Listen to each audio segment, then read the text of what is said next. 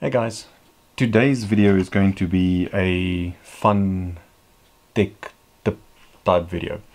So I bought a bunch of these Sonoff basic switches. Now this is a switch, very inexpensive. Uh, it costs around 100 Rand, which I think if you divert that into dollars, it's probably probably about $5, 3 to $5 that you're going to pay for this unit. Um, and what's nice about this is you connect it to their own application, which then allows you to link this to your Google Home or Alexa or any one of the smart applications um, to be able to automate your home. I bought four of these not thinking that this probably won't work to open my garage door. The the two two of them was really intended to open the garage door and as well as the motor gate. And after I bought them when I got home, I realized I wasn't quite thinking because the basic switch itself has an input and an output. And this is intended to switch on and off remotely or on a schedule or something like that the power that you put into this unit. Now it powers itself also from the current that you stick into here. So you can go anything, anywhere from 110 volts in the USA to 220 volts in most rest of the world. Um, and it will power on this unit and it's permanently connected to the Wi-Fi and then it will switch on and off whatever sits on the other side over here. So a light, a kettle, um, anything that you can really think about. But what it will not do, which I didn't think about, is that quick short circuit type trigger that I'm looking for to open the garage or open the gate or even um, um, activate or deactivate my alarm system for that matter. Let's quickly look at the unit. Um, the screws are out by default. It comes like this and you can just pry it open and then that's the that's the inside of the little unit. And it's it's a fairly simple construction when you think about it. Really what you have is you've got the input side over here which goes without any circuitry directly to that little cable and you follow it across. It goes to the same output side on this side. So the um, the neutral wire is not switched at all. It's a direct through connection. Whereas the live wire, which is on the other side over there, is switched through this little relay. Because obviously these um, components over here will not be able to handle the 10 amps or 2000 watts that this Oki is actually rated for. So hence the use of the relay over here to be able to switch up to 10 amps of power. Now we're going to use that in later software, these guys shipped with an something called an inching mode, where it will trigger whatever you are triggering for a period of time. Now that's anything from I think 0.5 seconds up to 10 seconds. Don't quote me on that. I will need to go and check up on that. But for the purpose of this video and opening the garage door, what we're going to do is, is we're going to use the inching mode to be able to switch on this little relay for 0.5 seconds. And what we're going to do is, is we're going to rewire this, this um, circuitry and repurpose that relay so that when we do that, it effectively creates a short circuit on the far side over here. So we're going to disconnect the input from the output. And when this relay switches, it's just going to do a short circuit across these two pins over here, which will then open the garage door for us. And with that, we will have a wireless voice controlled garage door opening solution for five bucks. The first thing that we really want to do is, and remember this is the input side, this is the output side. So from the input side, this wire that I showed you here, which just really connects the input directly to the output over there, the neutral wire, we're going to use a sol soldering iron and take it out of its original position over there. Then what we're going to do is, is we're going to drill a very small hole in the corner over here for that wire to stick through so that we can resolder it on this pin over here. So let me see if I can show you that very clearly. So little hole at the end of the slit over there, come through and connect over there. But before we can do that, I need to use my Dremel tool to cut off the um, the circuit over here. So obviously they're using both pins of the relay to switch across to the um, to the other side, but we want to we want to disconnect that. We, we don't want that to connect anywhere close to the um, to the other inputs the live input that we've got coming into the, over there.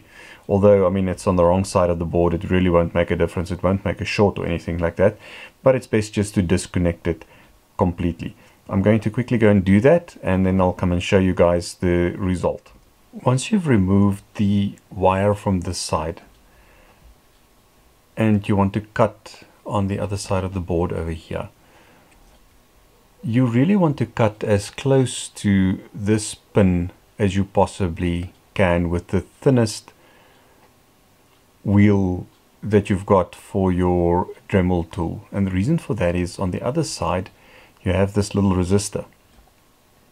And it can very easily be a victim if you cut too close to it and, and you'll cut off that. Now what that Oki does, what the what the resistor does, is it goes from the live over here and switches the the relay on and off. So you very, very definitely do not want to damage that particular point.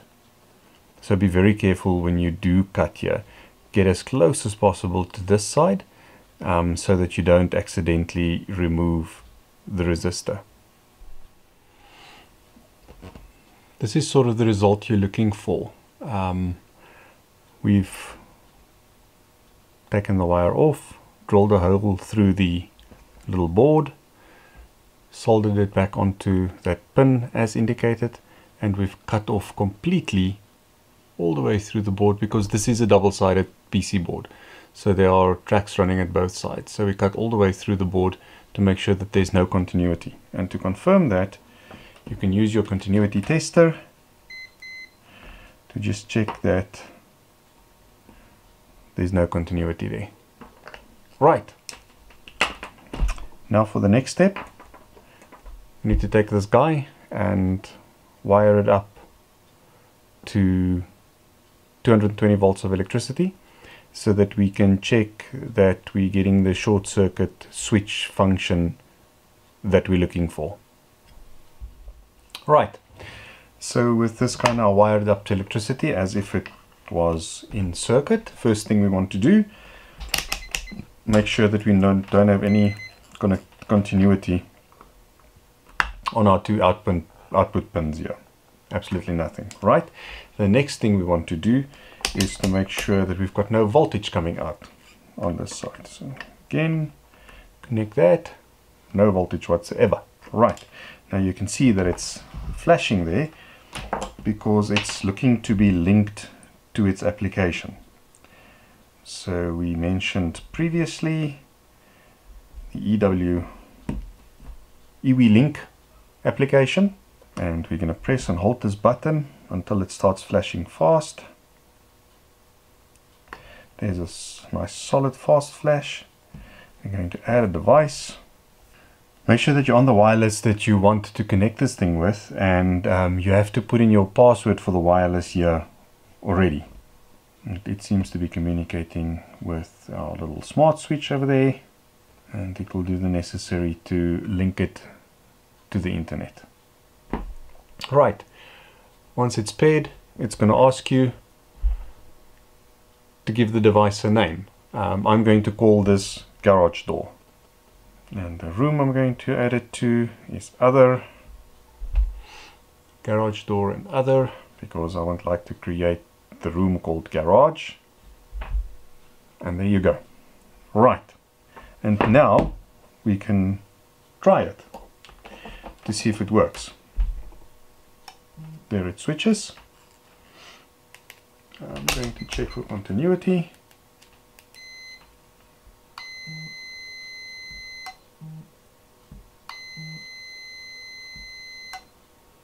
Okay, so it works. The next thing we need to do now is enable the inching feature so that it switches for a half a second or whatever and then switches off again. So we need to do that inside the software over here. Okay, so to set up the inching, what I do is I go into the actual device and then you'll see there's a notification at the top over here that says that there's new firmware available for this unit. So if I go into the three dots over here, you'll see at the top it says current version 2.9 and there's a version 3.1 or uh, 3.4 available for it. So I'm just going to update the firmware real quickly before we go down to the inching setting which is on that same same page. With that done, you can now see that the current version of the software is 3.4.1 which is the latest version. And I can scroll down to the bottom over here where it says inching settings. And I can tell it to inch for 0.5 seconds. So I'm going to enable the inching function over there. And just to show you you can do lots of time to very long longer way longer than what we actually want um, I'm going to leave it at the 0.5 seconds of inching. Alright, click save and now it's enabled on the unit. Let's go see if that works. So with our continuity tester in place, ta-da! Simple as that. Let's go to the garage door and show you how we're going to make that work on the garage door now. Right now up here at the garage motor, basically what we have, um, previously I installed a separate receiver for a different remote system that I use so that I can have um, the garage door, the gate, um, everything, uh, the alarm system, all on the same remote system and it basically connects to this here connector where I take out a positive and a negative to be able to run that unit and then I do a short circuit from common to here to be able to open the garage door.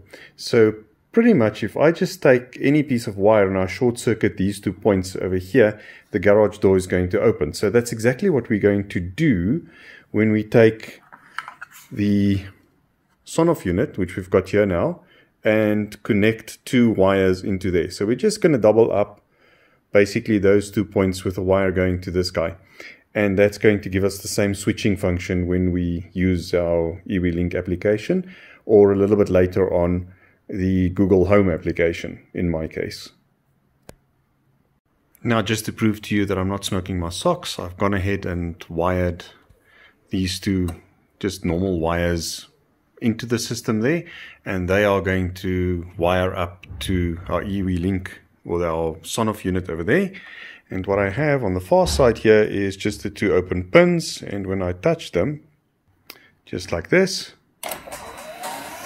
then the garage door will open and if I touch them again, it will stop and again, it will close. Okay, so that's the basic effect that we want to achieve.